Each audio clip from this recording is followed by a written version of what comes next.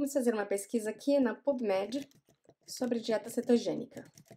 Temos um grande aumento no interesse por dieta cetogênica. Se pegarmos aqui 1995 para cá, olha a curva de crescimento nesses estudos.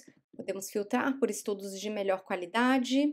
Vamos encontrar também um crescente nessas publicações.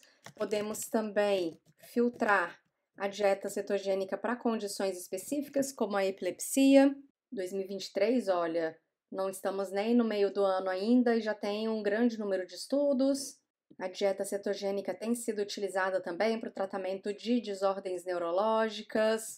Vamos começar a ver, olha, o uso da dieta cetogênica para o tratamento de depressão, ansiedade, também obesidade, síndrome metabólica, diabetes, doença de Alzheimer. E se você é da área de saúde e nunca teve aula sobre dieta cetogênica terapêutica, tá na hora de ter. Vai entrar no ar na plataforma T21.video uma série específica sobre dieta cetogênica terapêutica com passo a passo. Não é dieta cetogênica que a gente encontra no YouTube, é a dieta cetogênica da neurologia e da psiquiatria. Se você é médico ou nutricionista e não está por dentro dos cálculos da forma de implementação de acompanhamento, acesse a plataforma T21.video.